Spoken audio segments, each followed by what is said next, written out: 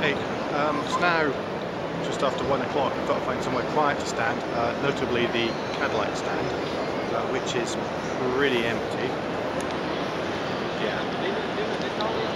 Um, all the busyness over kind of there-ish is all Audi. Um, and as you can see, there's the new Cadillac thing. Gosh, that's how much interest I've taken.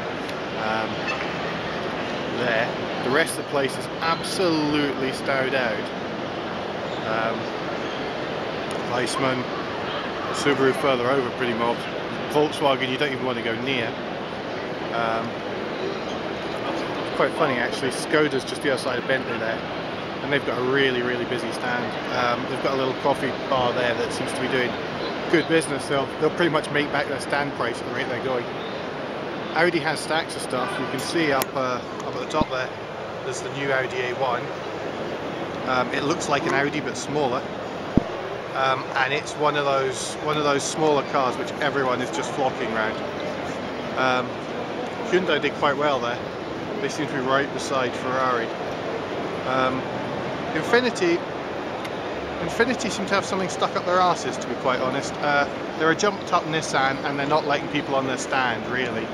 Uh, they're pretending they're Jaguar, who are actually being more generous about it. There's uh, Chevrolet, which is a bunch of Daewoos, mine and a, and a Camaro, and Mitsubishi um, have some stuff.